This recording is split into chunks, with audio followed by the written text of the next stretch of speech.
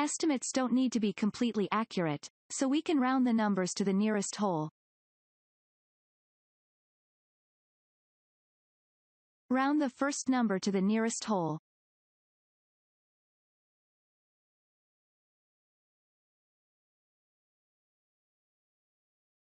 Round the second number to the nearest whole.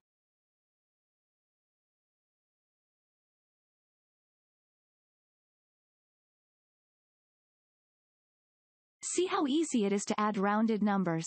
This is the estimated sum.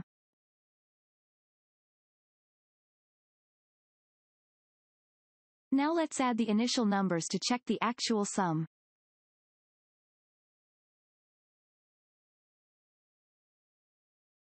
You can see that the actual sum and the estimated sum are very close.